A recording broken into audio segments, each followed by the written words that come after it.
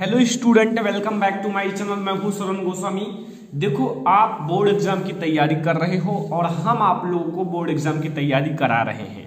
मैंने मान लिया कि आपने सब कुछ तैयार कर लिया अच्छे से। सब कुछ पढ़ लिया, जो पूछूँ उसे आप बता सकते हो।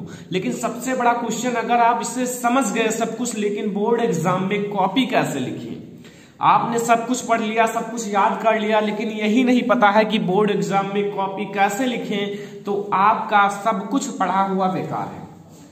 तो आज हम आप लोगों को इस वीडियो में बताने वाले हैं कि बोर्ड एग्ज़ाम में कॉपी कैसे लिखा जाता है। आपको मैं आप लोगों को बताऊँगा कि कैसे लिखना है अपने बोर्ड एग्ज़ाम में, में कॉपियों को ठीक है? तो वीडियो को लास्ट तक देखना आई होप पसंद आएगा ठीक है?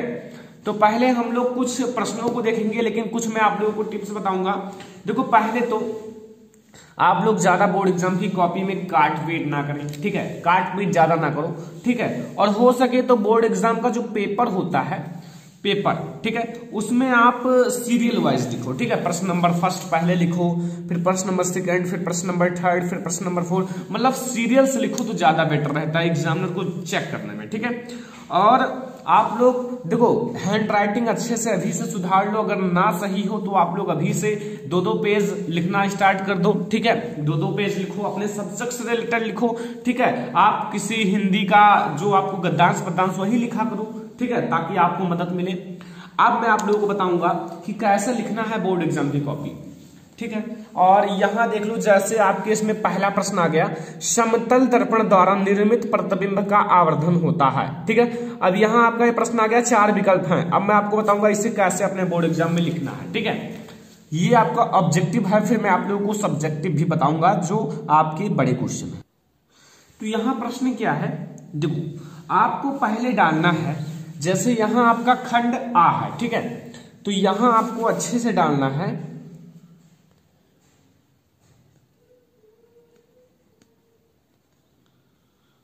खंड आ। ठीक है, ऐसे आपको डाल देना है। कुछ इस टाइप से। और यहाँ आप लोग अगर भौतिक विज्ञान है आपका पहले, डाल दोगे तो ज़्यादा अच्छा लगेगा, ठीक है? भौतिक विज्ञान, ठीक है? ये आपको डालना होगा। अब यहाँ इसे अंडरलाइन कर दो तो बहुत बढ़िया लगेगा अच्छा लगेगा, ठीक है? तो यहाँ मैं अंडरलाइन कर देता हूँ। तो यहाँ मैंने अंडरलाइन कर दिया है, ठीक है? अब यहाँ आप लोग बढ़िया से डाल देना कि प्रश्नोत्तर नंबर फ़र्स्ट का का, ठीक है? फिर खा गा ऐसे आप लोग डालते हुए चले जाइए। पहले आपको एक बार डालना है प्रश्नोत्तर नंबर फ़र्स्ट। प्रश्नोत्तर नंबर फ़र्स्ट। फ़र्स्ट डालने के बाद आप लोग अच्छे से अंडरलाइन कर दीजिएगा इसे अपने बोर्ड एग्ज़ाम की कॉपी में। ठीक है? यहाँ जैसा मैं लिख रहा हूँ, ठीक इसी प्रकार से आप लोगों को अपने बोर्ड एग्ज़ाम में लिखना है। ठीक है? ऐसे। ठीक है? ऐसे अंडरलाइन करने के बाद यहाँ आप लोग पहला हो गया तो पहले का का। पहले का यहाँ डालिएगा का। जो कि प्रश्न है, मैं आप लोगों को बताने वाला हूँ, ठीक है? समतल दर्पण द्वारा निर्मित प्रतिबिंब का आवर्धन होता है। तो आपको पहले का वाला प्रश्न लिख लेना है। अब पहले का खा, आप लोग नीचे लिख लीजिएगा, ठीक है? यहाँ पहले मैं पहला का बता देता हूँ, ठीक है? समतल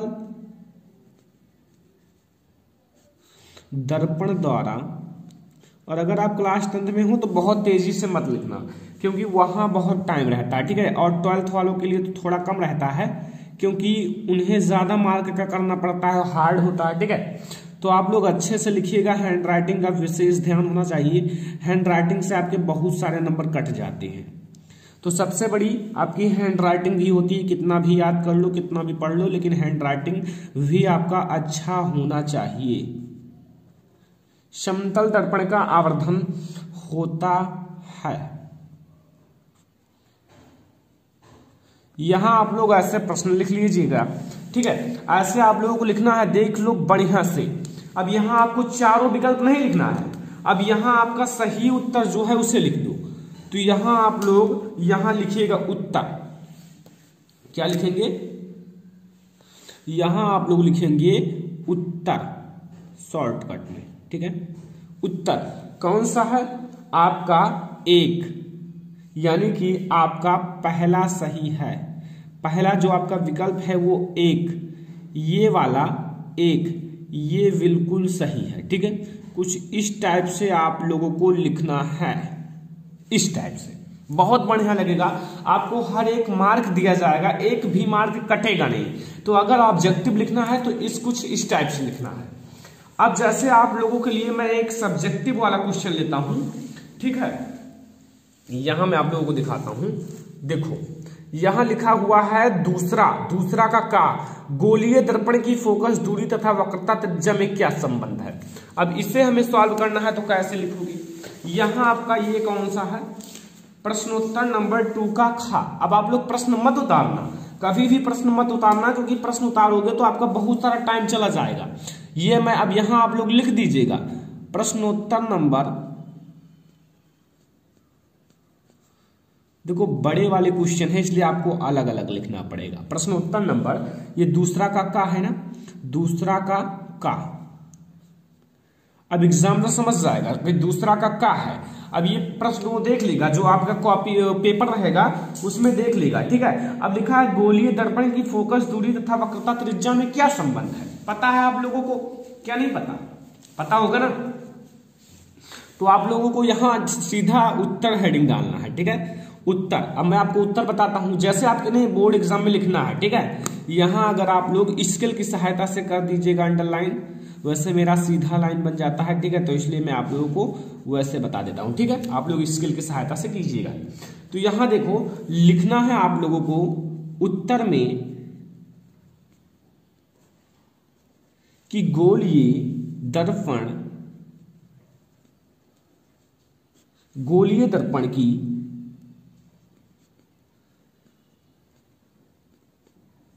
और ऐसे ब्लू एंड ब्लैक पेन का यूज़ करना, ठीक है? फोकस दूरी सॉरी हाँ चलो ठीक है। तथा वक्रता त्रिज्या है ना? हम्म बहुत सही। वक्रता त्रिज्या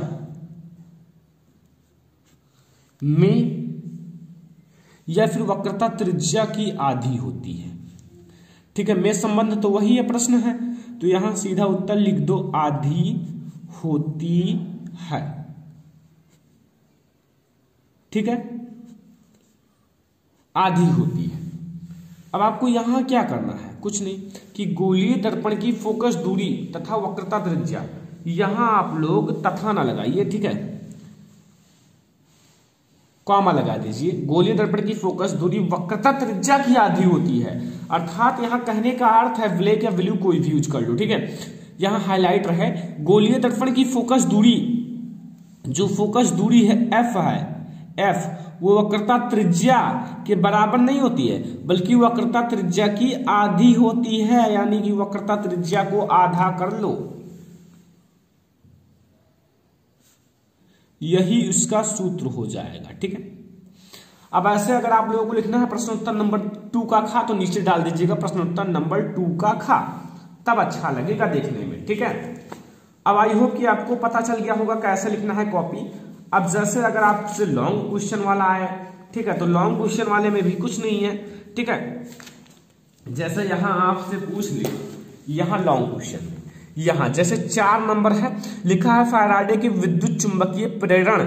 के नियमों की व्याख्या कीजिए, प्रेरित विद्युत धारा की दिशा कैसे ज्ञात की जा सकती है? तो इसका आंसर मैं नहीं बताऊँगा, लेकिन कैसे लिखना है ये मैं आपको बता देता हूँ, ठीक है? इसका आंसर मैंने ऑलरेडी बता दिया सर्च कर लेना, फराडे का विद्युत चुंबकीय प्रेरण का नियम बाईस कमल लेक्चर ये चौथे नंबर पे है तो यहाँ आप लोग लिख दीजिएगा, चौथा, ठीक है? प्रश्नोत्तर नंबर, यहाँ, चौथा है ना? तो यहाँ आप लोग लिख दीजिए, अथवा वाला है तो यहाँ लिखिए प्रश्नोत्तर नंबर। यहाँ मैं आपको अलग अलग बता रहा हूँ ताकि आपको सब कुछ समझ में आ जाए। प्रश्नोत्तर नंबर, चौथा। ठीक है? चौथा है ना? प्रश्नोत्तर नंबर, चौथा। तो यहाँ अब आप लोगों को अंडरलाइन कर देना है। और अथवा वाला है तो आप लोग यहाँ अथवा लगाइएगा। और प्रश्न मत लिखिएगा। प्रश्न वो समझ गया कौन सा है, ठीक है? अथवा लगा दीजिएगा, लिख दीजिएगा, बस, वो प्रश्न समझ गया। अब यहाँ आप लोग जानते हो, यहाँ मैं आपको उसका आंसर नहीं बताऊँगा, ठीक है? आप लोग समझ जाओगे। यहाँ मैं थोड़ा आपको बताता हूँ आंसर इसलिए नहीं बताऊँगा कि बहुत लॉन्ग हो जाएगा स्टूडेंट ठीक है? काफ़ी लॉन्ग इनका है। फैराडे के विद्युत चुंबकीय विद्युत चुंबकीय प्रेरण, संबंधी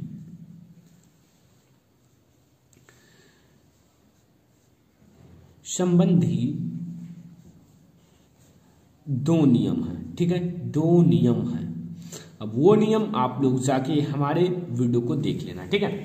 फिर यहाँ आप लोग इसे थोड़ा सा हाईलाइट करने के लिए यहाँ स्केल की सहायता से अच्छे से अंडरलाइन कर दीजिएगा, ठीक है?